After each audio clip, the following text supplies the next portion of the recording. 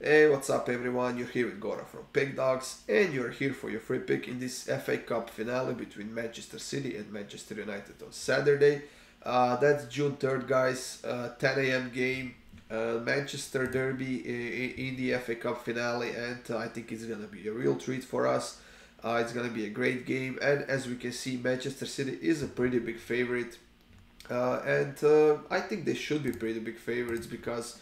Uh, they have been playing insanely good football, and even though they're coming off of a loss against uh, who they lose to, against Brentford one 0 in the final day of the EPL, uh, it was mostly a second lineup there. Uh, some players that haven't been playing that much this season, they haven't been that consistent, and they have been struggling with their form.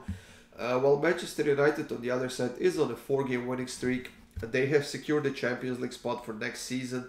Uh, they have been scoring a lot of goals both at home and on the road.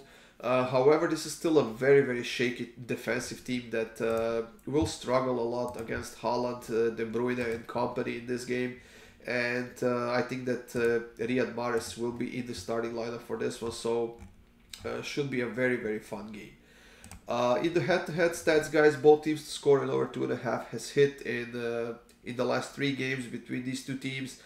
Uh, before that, we have seen a few uh, 2 0 wins. We have seen uh, some unders. We have seen some overs. So we have been all over the place in this matchup. But this is the finale. And I know that Manchester City has a big Champions League finale game uh, next week against Inter. So uh, they are probably already thinking about that one. But uh, if they want to win this trophy, if they want to stay in good form, if they want to stay on the winning track, uh, they will need to score at least a couple of goals here, which hasn't been uh, going easy for them because they haven't scored more than a goal in their last three games in a row.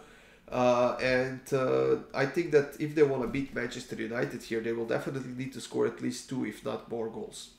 Manchester United, like I said, playing really well right now. They are mostly healthy. They have uh, all of their best players ready to play in this game, and this is a trophy that they will definitely like to win uh, especially because they're playing against Manchester City, their city rivals. Uh, but uh, it's not gonna be an easy game, and uh, it's being played at Wembley. Of course, uh, there's no home field advantage here. And honestly, if I had to choose a side, of course it would be Manchester City because they have been so consistent this season. They have so much depth. They have so much quality in that attacking end. And defensively, in my opinion, they are more solid than Manchester United is.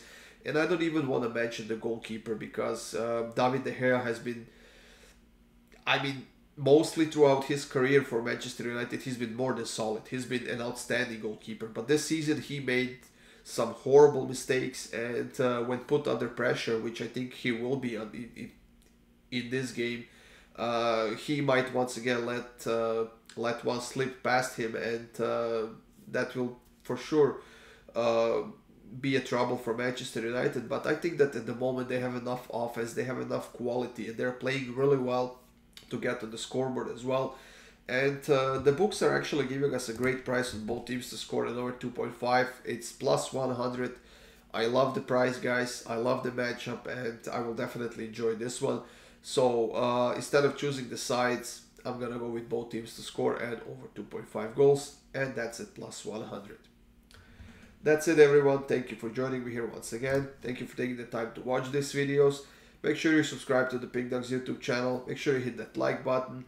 And of course, feel free to leave a comment on any of these videos and I will be more than happy to answer any of the questions you might have. That's it guys. Good luck with your bets. Enjoy your Saturday and uh, I'll see you soon with more free picks.